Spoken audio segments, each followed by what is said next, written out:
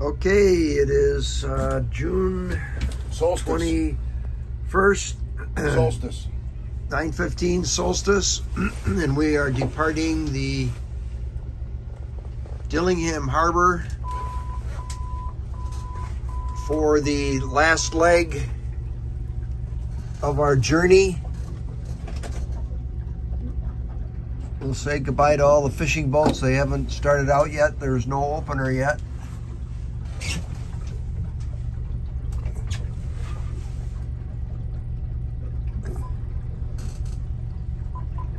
So we're going to depart the harbor and we're going to head up the wood.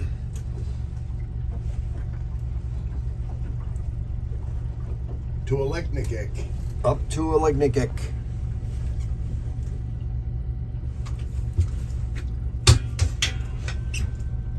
And every 20 minutes or so, there's a boat coming back into the harbor.